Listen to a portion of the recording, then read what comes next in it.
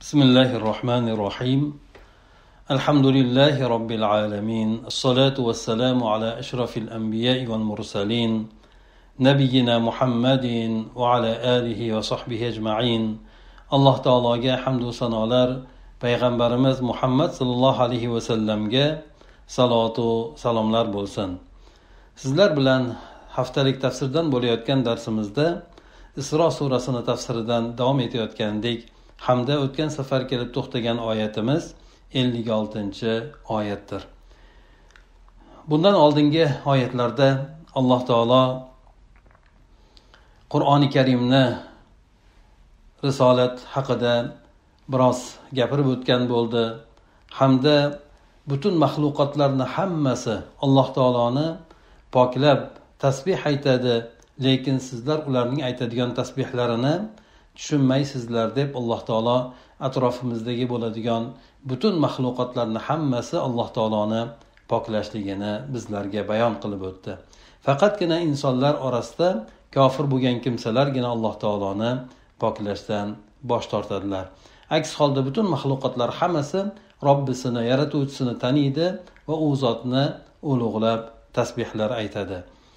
Undan keyin alloh taolo bandalarini oralaridagi bo'lgan munosabatlari bir biriga bo'lgan muomalalari go'zal muomala asosida bo'lishligini alloh taolo uqtirib payg'ambar sollallohu alayhi vasallam orqali o'zining bandalariga ya'ni mo'min bo'lgan bandalarga alloh taolo amr etdi.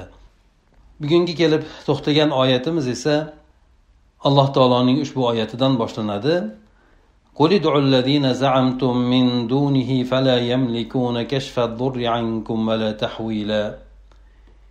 ya'ni bu oyat orqali alloh taolo makkadagi mushriklarga alloh taolodan boshqalarga sig'inadigan ibodat qiladigan kimsalarga ular sig'inayotgan narsalari bunday sig'inishlari bunday ibodat qilishlari botil ekanligi.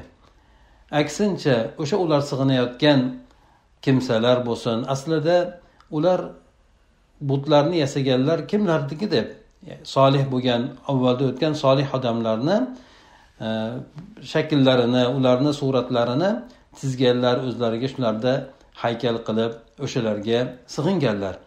Alloh taolo aytib o'tadiki sizlar ibodat qilayotgan o'sha kimsalar o'zi aslida o'tmishda solih bo'lib o'tgan edi. Bular hech qanday sizlardan yomonliklarni baloy ofatlarni xalos qilib olib tashlanmaydi deb aytib o'tadi. Aytadiki alloh taolo sizlar alloh taoloni qo'yib gumon qilayotgan kimsalar. Ular nimalarni gumon qilayotgan edi? O'sha sig'inayotgan narsalari sig'inayotgan kimsalari bular bizga dunyoda ham oxiratda ham foyda beradi. Ular bizni boshimizdan baloy musibatlarni ko'taradi. Allohni huzurida bizni yonimizni oladi shafoat qiladi shunga o'xshagan gumonlarni qilishardi shuning uchun ularga qurbonliklar atab so'yishar edi ularga sig'inishardi alloh taolo aytib o'tyaptiki bu yerda demak o'sha sizlar ishonayotgan sizlar o'sha suyanayotgan kimsalar bular sizlardan hech qanaqangi bir zarar baloy ofatlarni ochib ham tashlashga qodir emas uni boshqa tomonlarga ko'tarib tashlashlikka ham qodir emas. Nega ularga sig'inasizlar?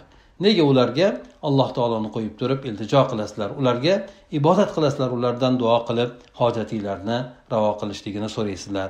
Ularga qurbonliklar qilasizlar o'zinglarni ularga yaqinlashtirasizlar deb alloh taolo makka mushriklarini xosatan allohdan boshqaga sig'inadigan kimsalarni bu o'rinda qattiq malomat qilyapti. Modomiki ular hech narsaga qodir emas ekan nega ularni sig'inib ularga ibodat qilyapsizlar deydi أولئك الذين يدعون يبتغون إلى ربهم الوسيلة أيهم أقرب ويرجون رحمته ويخافون عذابه إن عذاب ربك كان محذورا ana o'sha kimsalar ya'ni kimlardir iso alayhissalomga sig'inadi kimlardir farishtalarga sig'inadi kimlardir o'tgan solih bo'lgan kimsalarga ularni haykallarini qilish orqali ularga sig'inadi ana o'sha kimsalar sizlar duo qilib ibodat qilayotgan kimsalar o'zi aslida ular robbilariga vosita ya'ni alloh taologa yaqinlashtiradigan yaxshi amallarni istashadi bular. Ular ham hayoti dunyolarida o'shandek alloh taologa yaqinlashlikka qattiq intilganlar. Alloh taologa olib boradigan yaxshi amallarni sodir etishlikka intilganlar. Ana ayyuhum aqrob demak ularni bu amal borasida ya'ni solih amallar borasida qaysi biri alloh taologa yaqinroq ekan yaqinroq bo'lishligi borasida hattoki raqobat qilishar edi. Alloh taoloni rahmatini umid qilib azobidan qo'rqishar edi. Nega sizlarda ularda bo'lgan sifatlar yo'q? Nega ular alloh taoloni yolg'iz o'ziga ibodat qilib alloh taoloni yolg'iz o'ziga intildilaru? Sizlar alloh taologa emas balki boshqa narsalarga sig'inyapsizlar. Ular allohni rahmatini umid qilar edi. Azobidan qo'rqar edi. Nega endi sizlar alloh taoloni azobidan qo'rqmaysizlar? Yoki alloh taoloni rahmatini emas boshqa narsalardan ko'proq umid qilasizlar. Inna azaba robbika kana mahzura albatta robbingizning azobi ehtiyot bo'linadigan narsadir deb alloh taolo aytib o'tyapti. Haqiqatdan alloh taoloni azobi juda ham qattiqdir. Mana misol olib ko'radigan bo'lsak shu jahannam olovi bu dunyodagi yoqadigan oloviylardan farq qiladi degan. Yetmish barobar bundan ko'ra o'tni alangasi yoki bo'lmasa kuchi quvvatliroq. Yetmish barobar kuchliroq deb turib aytib o'tilgan. Undan tashqari jahannamda bo'ladigan insonni hayoliga kelmaydigan inson eslasa hattoki o'qib biladigan bo'lsa dahshatga tushadigan shunaqangi qattiq azoblar bordir. Albatta alloh taoloni azobidan qo'rqinglar. Alloh taoloni yolg'iz o'ziga ibodat qilib u zotdan umid qilinglar rahmat qilinglar deb aytib o'tadi. Alloh taolo bu oyatda o'ziga bo'lgan muhabbatni hamda allohdan umid qilishligu azobidan qo'rqib yashashlik. Mana shu narsalarni alloh taolo bu oyatda jamladi. Ya'ni mo'min odamni go'yoki shu hayotda yashaydigan qanotlari bu. Bir tomonda alloh taoloni rahmatini umid qiladi jannatini alloh taoloni bo'ladigan mag'firatini umid qiladi o'shani asosida intilib yashaydi ikkinchi tomondan esa alloh taoloni azobidan alloh taoloni g'azabidan do'zaxidan qo'rqib yashaydi mana shu ikkala narsasi insonni hayotini mutanosib suratga keltirib beradi undan keyin alloh taolo aytadiki وإن من قرية إلا نحن مهلكوها قبل يوم القيامة أو معذبوها عذابا شديدا كان ذلك في الكتاب مسطورا biz qaysi bir qishloqni bo'lsa ham qishloq nima? Qishloq o'sha muqim uylari muqim turadigan joylari bo'lgan mintaqani qishloq deb aytiladi. Bu narsa endi shaharga ham itloq qilinadi o'zi aslida. Shundan qaysi bir qishloq bo'lsin shahar bo'lsin biz ularni qiyomatdan oldin halok etguvchimiz deb alloh taolo bayon qilib o'tyapti. Bu yerda mufassirlar aytib o'tadiki qanday bo'lgan qishloqlarni mutlaq suratdagi bo'lgan qishloqlarni halok etishligi alloh taolo bu qiyomatdan oldin yer yuzida bo'ladigan katta zilzila mana shunda hamma narsani yer yutadi. Bunda bironta bir qishloq ham shahar ham sog' omon qolmaydi. Bu bir ma'nosi. Ikkinchi ma'nosi esa alloh taolo o'tmishda alloh taologa osiylik qilgan payg'ambarlarini yolg'onchiga chiqargan haddidan oshgan qishloqlarni aholisi bilan birgalikda halok qilib yuborgandir. Bir toifa olimlar ayni mana shu ma'noni aytib o'tishadi. Demak o'shanday bo'lgan. Ya'ni o'shanday sifatlarga ega bo'lgan alloh taologa osiylik qilgan payg'ambarlarni yolg'onchiga chiqarib ularga qattiq zug'umlar o'tkazgan haddidan oshgan qavmlarni alloh taolo biz qiyomatdan oldin hammasini halok qilganmiz deb aytib o'tadi. Yoki bo'lmasa ularni qattiq suratda azoblaguvchimiz demak o'tmishda bo'lib o'tgan bunday bo'lgan holatlar bundan keyin ham agar qishloqlar haddidan oshadigan bo'lsa u yerda fisqi fasod juda ham rivojlanib ketadigan bo'lsa yaxshilik chekinib yomonliklar g'olib bo'lib ketadigan bo'lsa bunday bo'lgan joylarga alloh taolo azob yuboradi. Bu azob esa u joylarni yo'q tag tugidan yo'q qilib yuboradi yoki bo'lmasa ularni qisman boshqa balolar bilan alloh taolo balolaydi. Chunonchi qahatchilik bo'lsin yoki har xil baloyi ofatlar bo'lsin qattiq qattiq zilzilalar bo'lsin ana o'shandek qiyinchiliklar bilan alloh taolo ularni aholisini azoblashligini bayon qilib o'tyapti. Albatta bu narsa lavhul mahfuzda satr etib qo'yilgan yozib qo'yilgan deydi. Demak alloh taolo qishloqlarni shaharlarni aholisi qo'yib beradi. Agar tug'yonga ketadigan bo'lsa haddidan oshadigan bo'lsa qo'yib beradi. Qancha qancha qishloqlar halok bo'lib ketgan shaharlar davlatlar halok bo'lib ketgan yo'q bo'lib ketgan deb aytgan tarix yuzidan ham yo'q bo'lib ketgan yoki undan tashqari yana ko'plab alloh taolo tomonidan baloyi ofatlarga turli zilzilayu e, har xil yong'in yoki suv toshqin boshqa narsalarga giriftor bo'lgan. Albatta buning sababi alloh taoloni risolatidan yuz o'girishlik alloh taologa nonko'rlik qilishlik. Inson haddidan oshib o'zini bosar tutarini bilmay qolishligi robbisiga ham o'zini yuqoridan turib muomala qilishligi mana shu narsalar insonlarni halokatiga sabab bo'lgandir alloh taolo yana undan keyin aytadiki وما منعنا أن نرسل بالآيات إلا أن كذب بها الأولون وآتينا ثمود الناقة مبصرة فظلموا بها وما نرسل بالآيات إلا تخويفا demak bu oyatlar asosan makka mushriklariga katta bir tanbeh edi. Ya'ni ular ham payg'ambar sollallohu alayhi vasallamga qattiq dushmanchilik qilishardi. U zotni yolg'onchiga chiqarib ozor berishardi. Hamda u kishini masxara qilishib olib kelgan risolatlarni ustidan kulishar edi alloh taoloni yolg'iz o'ziga iymon keltirishmasdi oxiratda e'tirof etishmasdi. Juda ham haddilardan oshib ketgandi. O'shalarga alloh taolo tanbeh bo'lgan suratda biz agar bu yo'ldan qaytmasalaringiz sizlarni ham boshlaringizga qattiq baloyi ofatlarni yuboramiz degan mazmunda aytib o'tyapti. Undan keyin mushriklar payg'ambar sollallohu alayhi vasallamdan ko'p mo'jizalarni talab qilishar edi. Hamma payg'ambarlardan qavmlari talab qilgani kabi. Alloh taolo aytadiki bizni o'sha mushriklar payg'ambarlarning qavmlari talab qilgan mo'jizalarni yuborishligimizdan man etadigan narsa avvalgilarga yuborgan edik ular uni o'sha mo'jizalarni yolg'onga chiqarishgandi.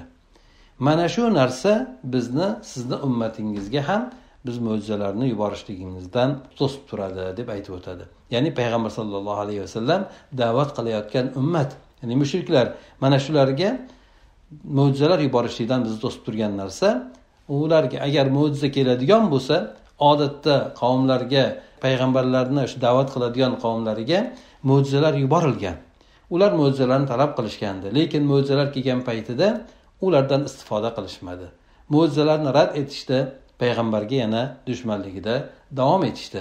Ana o'shandan ularni boshlariga balolar keldi. Ya'ni alloh taolo bir mo'jizani yuboradigan bo'lsa qavm talab qilgan mo'jizani alloh taolo yuboradigan bo'lsayu ular o'sha mo'jizaga iymon keltirmaydigan bo'lsa undan keyin alloh taolo ularni qattiq azoblaydi yoki butunlay halok qilib yuboradi. Buni alloh taolo boshqa oyatlarda ham bayon qilib o'tgan. Iso alayhissalomni qavmi iso alayhissalomdan dasturxon alloh taolo osmondan dasturxon tushirishligini talab qiladi. Bu moyda surasida o'tgan uni tafsirlarini aytib o'tgan edik. Iso alayhissalom ularni ogohlantirib aytadi. Alloh taolodan agar talab qiladigan bo'lsak alloh taolo beradi lekin buni ortidan alloh taolo qattiq imtihon qiladi. Agar kim iymon keltirmaydigan bo'lsa uni azoblaydi degan mazmunda aytib o'tadi. Alloh taolo bu borada oyatlarni nozil qilgan. Ana undan keyin alloh taolo aytadiki mana misol tariqasida biz samud qavmiga tuyani ularni ko'z o'ngida mo'jiza qilib yuborgan edik deydi. Samud qavmiga tuyani yuborilishligi bu ochiq oydin mo'jiza bo'lgan. Ular solih alayhissalomdan alloh taolo ularga payg'ambarligini isbot etishligi uchun payg'ambarligini tasdiqlashlari uchun bir ochiq oydin mo'jiza yuborishligini talab qiladi. Nima deb ulardan so'ragan paytda mana shu oldimizda turgan katta harsang toshni ichidan bir tuya chiqsa tuya bahaybat bo'lsa homilador bo'lsa ana o'shandek ular talab qilishadi. Alloh taolo ayni o'sha ular talab qilgan toshni orasidan ular talab qilgan sifatda tuyani chiqarib beradi. Bu tuya ularni ko'z o'ngida tosh yorilib uni orasidan kelib chiqadi. Bundan ko'ra oshiqroq mo'jiza bo'lishligi mumkin emas inson uchun. Ya'ni o'zlari bo'lib ham talab qilgan yana talab qilgandek ayni o'sha o'shanday bo'lgan suratda kelib chiqdi. Ular u narsani o'z ko'zi bilan ko'rishdi. Shuning uchun alloh taolo aytadiki biz samud qavmiga tuyani ko'z o'ngida ular qarab turgan holatida biz ularga bergan edik. Nima qilishdi keyin? Bular mana shunday mo'jizani talab qilishdi. Mo'jizaga olib keladigan bo'lsang biz seni payg'ambarligingni tasdiqlaymiz. Senga ergashamiz deb har xil gaplarni aytishgan edi. Lekin mo'jiza kelgandan keyin bularni holati biha. O'sha kelgan tuyaga bular zulm qilishdi. Solih alayhissalomga iymon keltirishmadi. U kishini risolatini tasdiq etmadi qabul etishmadi u kishiga ergashishmadi ham. Aksincha solih alayhissalom aytgan edi teginmanglar bunga. Lekin ular tuyani ortidan yurib uni so'yib yuborishadi. So'yib yuborgandan keyin alloh taolo ularga azob yuborishligini ogohlantirib uch kun kutishligini aytadi. Shu bilan ularni boshiga katta bir baloyi ofat keladida ularni o'sha qishloqlari bilan birgalikda ashirtiga olgan odamlari bilan birgalikda yoshu qari hammasini faqat iymonli bo'lgan kimsalardan tashqari alloh taolo halok qilib yuboradi. Halok qilganda ham bir necha og'ir azoblar bilan ularni halok qiladi. Ana o'sha narsalarni aytib alloh taolo aytadiki ey muhammad sallallohu alayhi vasallam sizni qavmingiz sizdan ko'p mo'jizalar talab qilyapti. Haqiqatdan mushriklar muhammad sallallohu alayhi vasallamdan talab qilishgandi. Ya'ni aytishgandiki shu safo tog'ini bizga tilla qilib bersang osmonni bo'lak bo'lak qilib bizga tushirsang ollohni hamda farishtalarni bizni ko'zimiz ko'radigan yaqin bir masofaga olib kelsang yerdan shu otilib chiqadigan buloqlarni bizga mana shu makkada chiqarib bersang ularni talab qilayotgan payg'ambar sallallohu alayhi vasallamdan so'rayotgan mo'jizalarni chegi chegarasi yo'q edi. Alloh taolo bu narsalar u zotga oson ekanligini bayon qilishlik bilan birgalikda bu payg'ambar sallallohu alayhi vasallamni hurmatidan u kishini ikrom qilib bu qavmga alloh taolo u mo'jizalar talab qilgan mo'jizani bermadi. Bermasligini sababini aytib o'tdiki bu mo'jizalarni tushiradigan bo'lsak avvalgilar iymon keltirmagan. Bu hayot tajribasidan o'tgan narsa. Bular ham iymon keltirmaydi. O'zi aslida sizdan bular mo'jizalarni talab qilayotganligini sababi iymon keltirishlik uchun emas. Sizni tasdiqlab sizga ergashishlik uchun emas balki sizni o'sha mo'jizalarni keltirolmay qoladigan bo'lsangiz ana bu lol qoldi. Bo'ldi bu payg'ambar emas bu aytgan narsasini qilolmadi deb ustingizdan kulib masxara qilishlik uchun ular shu narsalarni sizdan talab qilishgandi. Sizni ojiz qolishligingizni ular tarafdori edi. Shuning uchun biz sizni o'sha ikrom qilib yana bu sizni qavmingiz yana qavmi qarindoshlaringizni e'tiboridan biz ularga mo'jizani yubormadik. Bularga o'sha yuborilgan qur'oni karim o'zi aslida mo'jiza kitobida bu narsa o'zi ularga kifoya qiladi degan mazmunda alloh taolo payg'ambar sallallohu alayhi vasallamdan so'ragan narsalarni ularga yuborib bermadi. Shunga misol keltirib aytdiki mana solih alayhissalomni qavmiga ochiq oydin suratda tuya kelgan edi. Odamlar uni ko'zi bilan ko'rdi o'zlari talab qilgan to'liq suratda mana shu munosib bo'ladigan o'sha narsani alloh taolo bergandi lekin bular unga iymon keltirmadi tasdiq etishmadi solih alayhissalomga ergashishmadi. Aksincha tuyani ya'ni so'yib uni buni orqali keyin baloyi ofatga yo'liqishdi deydi. Alloh taolo aytadiki biz oyatlarni mo'jizalarni qo'rqitishlik maqsadida yuboramiz dedi. Haqiqatdan mo'jizalar kelgandan keyin unga iymon keltirsa keltirdi keltirmasa bu ortidan qo'rqinchli bo'ladigan holatlarni o'zidan keltir o'zidan ortidan tortib keladi. Shundan alloh taolo bunday bo'lgan mo'jizalarni biz odamlarni qo'rqitishlik uchun ya'ni alloh taoloni qudratidan qo'rqishlik uchun yuboramiz deydi haqiqatdan o'shanday sizlar talab qilayotgan narsani berishga qodir bo'lgan zot hamma narsaga qodirdir u zotni qo'lida hamma narsani mulki bordir deb alloh taolo ularni aytib o'tmoqchi وإذ قلنا لك إن ربك أحاط بالناس وما جعلنا الرؤيا التي أريناك إلا فتنة للناس والشجرة الملعونة في القرآن ونخوفهم فما يزيدهم إلا طغيانا كبيرا أي محمد صلى الله عليه وسلم اسلم robbingiz sizga aytgan edi. Alloh taolo ya'ni robbingiz odamlarni hammasini ihota qilgan.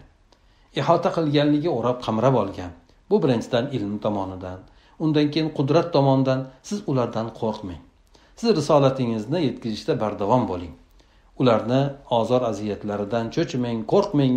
Ularni malomatlaridan xavfsiramang deb alloh taolo payg'ambar sallallohu alayhi vasallamni tasalli berib u kishini yana o'sha ishida bardavom bo'lishligiga targ'ib qilib aytadiki siz eslaysizmi? Robbingiz sizga shunday deb aytgandi. Odamlarni hammasini tizg'ini tizgini alloh taoloni qo'lida. Ular sizga hech narsa qilolmaydi hech qanday zarar yetkazisholmaydi biz sizga ko'rsatgan bu ru'yoni. Ru'yo bu yerda ya'ni bir ko'rish inson ko'zi bilan ko'radigan narsa. Biz sizga o'sha ko'zingizga ko'rsatgan narsalarni odamlar uchun imtihon sifatida qilgan edik deydi. Bu sura isro surasi ya'ni isro surasi isro meroj voqeasi aytishlik bilan boshlangan edi. Bu surada o'sha alloh taolo payg'ambar sallallohu alayhi vasallamni sayr qildirganligi undan keyin hadislarda keng suratda bayon qilingan o'sha isro voqeasi unda nima narsalar kechgan merojga payg'ambar sallallohu alayhi vasallamni ko'tarilishligi u yerda alloh taolo tomonidan namoz farzligini qabul qilganligi undan tashqari yana u kishiga jannat do'zax ko'rsatilganligi ko'plab o'sha g'oyib bo'lgan narsalar payg'ambar sallallohu alayhi vasallamga ko'rsatiladi. Ana o'sha narsalar haqida payg'ambar sallallohu alayhi vasallam shu merojdan tushganlaridan keyin odamlarga xabar beradi. Bu narsa odamlarga imtihon bo'ldi. Hattoki iymoni zaif bo'lgan islomga yangi kirgan odamlar ayrimlari dindan qaytib ketdi.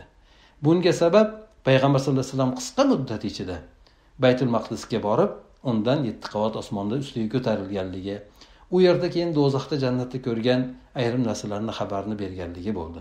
Shulardan birisi zaqqum daraxtini payg'ambar sallallohu alayhi vasallam ko'radi.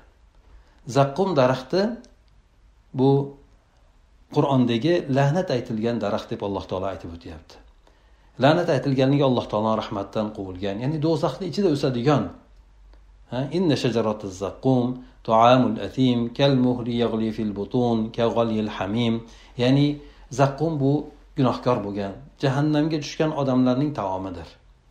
Ularni yegandan keyin ichlarida xuddi ma'dallar qaynab turgani kabi insonni ichida qaynoq suvlar kabi qaynaydi bu narsa deb alloh taolo keltirib o'tadi.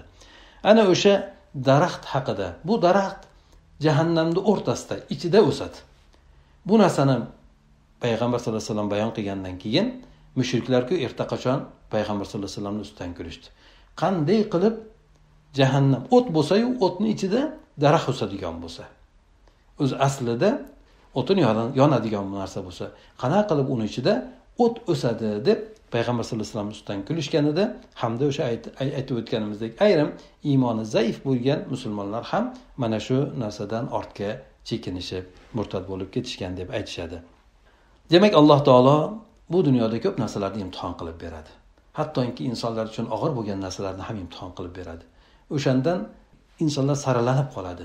Kimlar haqiqatdan alloh taologa mahkam iymon keltirgan. Oxirat kunini ko'z oldida bo'lgandek darajada tasdiq etgan payg'ambarni sunnatlariga ergashgan kimsalarga ham imtihon sinovlar keladi. Ularga lekin mana shu yo'lda mahkam turishligi o'sha imtihon sinovlardan yaxshi o'tib olishligiga ancha yordam bo'ladi. Lekin iymoni zaif bo'lgan kishilar esa bu imtihonlardan to'kilib qolar ekan. Yana alloh taolo bu yerda bayon qilib o'tadiki biz ularni qo'rqitamiz deydi. Haqiqatdan alloh taolo mana qudrati juda ham buyuk bo'lgan zot. Payg'ambar sallallohu alayhi vasallam hadislarda ham aytib o'tadilar men alloh taoloni eng yaxshi biluvchiman hamda alloh taolodan eng ko'p qo'rquvchiman deydi. Inson alloh taoloni qanchalik yaqindan bilgan sayi alloh taoloni yaxshi ko'rib qoladi. Shu bilan birgalikda alloh taolodan shunchalik qo'rqadi. Chunki alloh taoloni azobi g'azabi juda ham qattiq bo'ladi. Hattoki qiyomat kunida alloh taoloni g'azabi kelgan paytida bironta bir payg'ambar jur'at qilib alloh taologa biron so'zni gapira olmaydi. Illo muhammad sallallohu alayhi vasallam payg'ambarimiz borib alloh taolodan hisob kitob qilishligini boshlashligini so'raydi. Lekin bironta payg'ambar hattoki payg'ambarlarni eng saralari ham odam alayhissalom nuh alayhissalom ibrohim alayhissalom muso iso alayhissalomlar birontasi ular aytadilarki alloh taolo shu bugungi kunda shunday g'azab qildiki bundan keyin bunday g'azab qilmaydi deb allohga biron narsa aytishlikka jur'at qilisholmaydi haqiqatdan alloh taoloni g'azabi keladigan bo'lsa azobi bo'ladigan bo'lsa inson uchun judayam qattiq qo'rqinchli hamda dahshatlik bo'ladi. Shundan alloh taolo biz ularni qo'rqitamiz dedi. Oyatlar mo'jizalar yuborib har xil baloy ofatlar yoki bo'lmasa insonlarni ko'ziga dahshat ko'rinadigan narsalarni yuborishlik bilan alloh taolo biz ularni qo'rqitamiz dedi. Yoki jahannamni bayon qilishlik bilan alloh taolo o'zini qudratini hamma narsaga qodir ekanligini shu bilan birgalikda azobni turlarini bayon qilishlik bilan biz ularni qo'rqitamiz. Bu narsa esa ularni allohga iymon keltirmagan g'azabini tasavvur qilolmaydigan yoki oxiratga ham unaqangi darajada ishonmaydigan kimsalarni bu bizni qo'rqitishlarimiz yana ham haddidan oshishligida ziyoda qiladi deb aytib o'tadi. Yana ham to'nini teskari kiyishadi yana ham alloh taologa bo'lgan isyoni kuchayib ketadi. Payg'ambarga tikma tik ular olishib dushmanlik qiladi allohni diniga dushmanlik qiladi. Bu narsani ko'rmayapmizmi hayotimizda ham bunga o'xshagan narsalarni ko'ryapmiz. Inson kuch quvvatda mol mulkda biroz boshqalardan ko'ra ziyoda bo'lib qoladigan bo'lsa katta bir kuch qudratga ega bo'lib qoladigan bo'lsa o'zini ham tanimaydigan darajaga borib qoladi. Mana shundan demak alloh taolo ularni bizni bunchalik qo'rqitayotganligimiz bular tasavvur qilolmaydida bu narsa esa ularni yana ham haddidan oshishligiga olib boradi deb aytib o'tyapti. وآخر دعوانا أن الحمد لله رب العالمين. سبحانك اللهم وبحمدك نشهد أن لا إله إلا أنت نستغفرك ونتوب إليك. اللهم انفعنا بما علمتنا وعلمنا ما ينفعنا وزدنا علما. السلام عليكم ورحمة الله وبركاته.